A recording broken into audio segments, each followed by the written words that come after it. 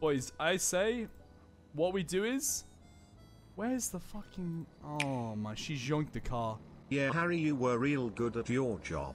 You gave out too much money, told Janet thank fuck for that, almost got fired, and think customer service should tell people to fuck themselves more often. That's some tuna shop level of copium.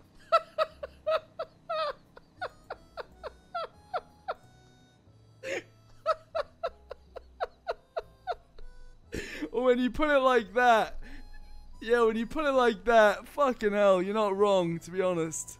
you're you're kind of right. Fucking hell, maybe it was a good job I uh, left. Jesus Christ. I'm crying. Um. oh my goodness.